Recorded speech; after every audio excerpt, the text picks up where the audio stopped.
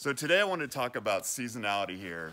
And I'm filming in December 2019 in gorgeous Lake Tahoe, as you can see. The thing about seasonality, people always ask me, when's the best time to buy or sell?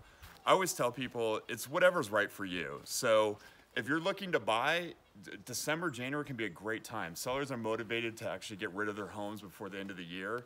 Um, as well as, and if you're looking to, to sell, now selling's a little bit different. I would definitely wait either fall or, or the spring season, and I'm talking about Bay Area real estate, particularly San Francisco.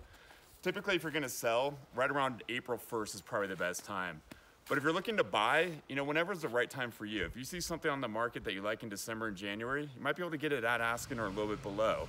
If it's not the right time, you don't have all your ducks in a row, wait till, you know, the fall, the spring season coming up in February, March, April, another great time. So there, like I said, there are different sides to real estate on the seasonality side of it. Bottom line is, when you're looking to buy, whenever you're ready, go for it. When you're looking to sell, spring or fall is the best time.